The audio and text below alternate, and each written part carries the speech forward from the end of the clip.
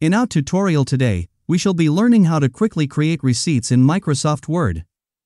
Make sure you are online. Click on the Microsoft Word icon.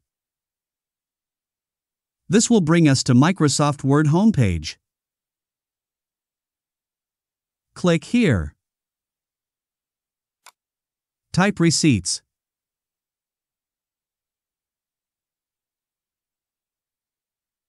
Click Search. You can make your choice from the option given. I will be using this one for this tutorial. I click OK. The receipt has been downloaded in my system. I make some changes to suit my desire.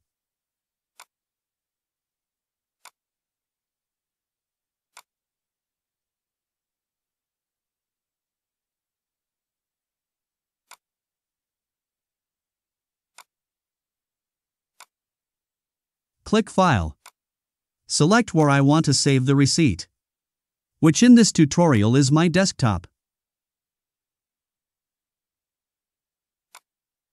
Hope you have gotten some values from this tutorial.